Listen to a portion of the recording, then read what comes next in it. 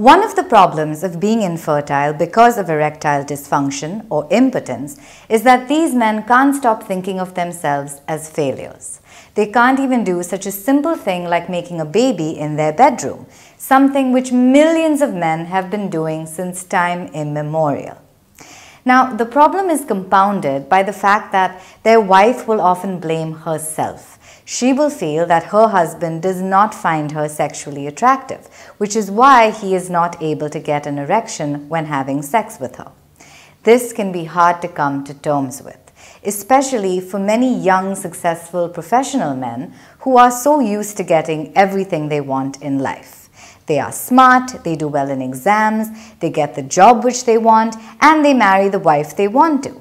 Then, when they find that they can't get their wife pregnant because they aren't able to have sex with her, their self esteem takes a big toss and they start wondering whether they are good for anything at all.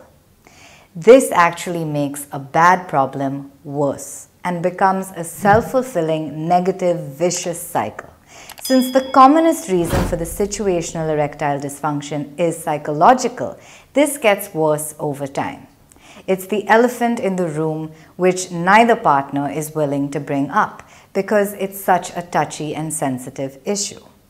Now, this can create an existential crisis because this is the first time in their life that they are being forced to come to terms with their own biological frailty, that not everything is in their control.